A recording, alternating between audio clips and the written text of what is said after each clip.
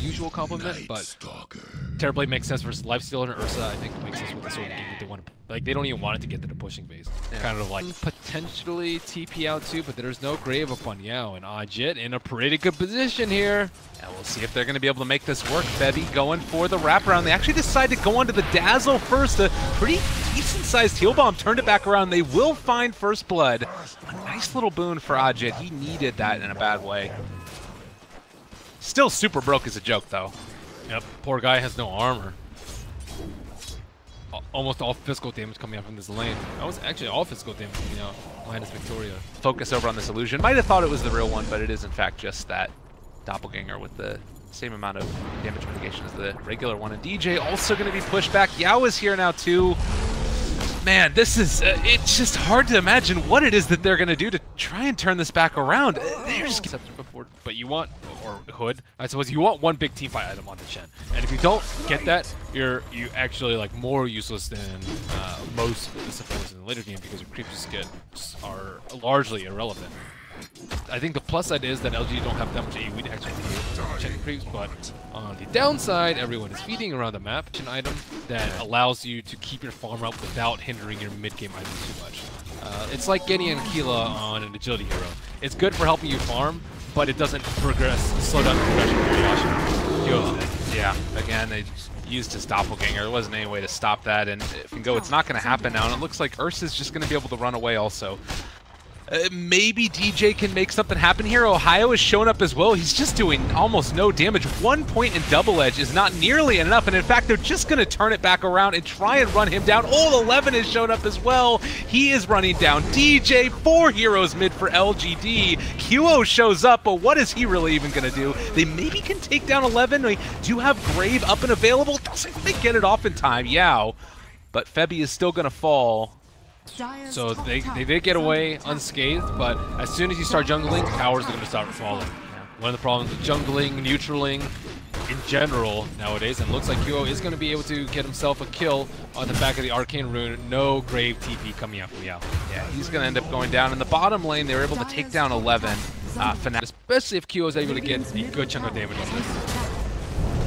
All right, well, let's see. Moving in, Ohaiyo. He does have three points in that hoof stomp, so a longer duration stun than you would normally see. But Ame has shown up as well, and now Ahjit starting to take a good bit of damage. No level six. He was so close to it, just a little bit of experience away. He might have been able to jump inside of somebody, but nonetheless, it's another death as Fnatic. lot of these games, like uh, they kind of just leave him to farm and do his own thing. They pressure bait. Oh no, he's so close to his Blink Dagger. Another 200 gold away as he loses a bit there. Some creeps are going to take some damage as well. 11 revealing that Blink Dagger, newly purchased. Ahjit is showing up as well, and actually they might have gone a bit too far. Oh, the Centaur's a little bit mad that his brother ended up going down, but now it's maybe chasing him down in the grave. TP away. 11's going to escape, but Febby's certainly not going to be so lucky as, well, maybe he's trying to juke off to the side. Does he have auto attack on? I'm not sure, but a triple kill for maybe. Another kill going their way. Ame is kind of left alone for the moment. Ohaiyo's showing up as well, and they might be able to bring him down. This would be a huge kill. Indeed, they're going to give it to Ohaiyo. A little bit of revenge. Ohaiyo, is this Infest Bomb really going to end up working out for them? They're rotating in with all of these heroes. He's going to find the Terrorblade. Maybe they can blow him up right at the start of the fight, trying to do just that. Not going to be able to quite bring him down, though, and maybe still alive. Ahjit trying to chase him down, but Yao is still in the area with Grave. They're not going to be able to do it. QO doesn't have Diffusal Blade yet, and they are going to be able to turn this back around now onto Victoria, trying to find the stun, trying to kill him off. They just don't have nearly enough damage. Another big heal bomb comes through. Ahjit in trouble. He's going to drop QO. Where's it left to go? I don't know if they have anywhere. Febby's going to be pulled back in. Also, all of Fnatic are just being ripped asunder. Four, five dead indeed. LGD dominant. There, Victoria is going to be able to slaughter this lone skeleton comes and prevents any opportunity for an infest bomb coming in, and maybe should be able to wrap this up quite. Hello, Ohaiyo. They pull back in the initiator that they needed, and Ohaiyo going to be brought down 30 seconds. No. Yeah, he needs to play the keep away game. Oh, that's a lot of creeps.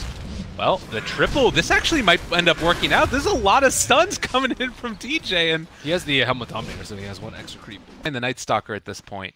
Um, But the rotation in LGD wanting to find a pickoff. Who are they going to get? Nobody else but Ahjit. He is going to be killed very quickly. Ame on a killing spree, and now we'll see if the rest of Fnatic can get out. QO is here as well as DJ. Might need to use the send back now to try and get QO out of there. Can they actually do it, or are they going to actually try and fight this? Again, the Centaur is coming in, going for the long-range stomp. They are going to be able to pull back yet another, and barely going to be able to walk away from that one, it looks like. Are they going to lose Febby? I think that he might be able to escape. No, they're going to kill off QO as well. Four are dead. No. And you can tank so that other members of the team can do damage. Like you still do damage if you go stat items. You're just a little bit tankier in the process. But it looks like Life Stealer still gonna be largely in the jungle by the Night Stalker minute one. Yeah, you can tell it's like uh, that's not a good start for how this game can go for Fnatic. Well, and Fnatic just trying to hold on to anything at all at this point. There's no Aegis, but it really doesn't matter. Uh, 18 seconds until Centaur is there. If Fnatic or if LGD want to, they can just back out after the fact. Uh, and they might just do that here. Or 11 will go. Weave is, Weave is halfway up right now, so this is the perfect time for an LGD to fight. And the worst time for Fnatic to fight. Oh, the jump 40 is just going to be eliminated. Ahjit, does he have any way to get out of this one? It doesn't look like he actually jumps inside a QO, almost goes down. Now Ahjit trying to run away as well. Maybe he's kind of being controlled, and with Ohaiyo backup, there's just not quite enough there. Can they kill him down in time? No. Dazzle heals are there. The Shrine is the only thing keeping the rest of Fnatic alive, but even that is not enough in the end. QO trying to run down Victoria, but now Big Bad Ame chasing him down as well. They're going to eat him up. Five dead from Fnatic, and again, GG well played. LGD are looking quite strong in this. Oh, the fast DC coming up from DJ. Yeah, they just lost their lanes very early on, and you can see why Night Stalker is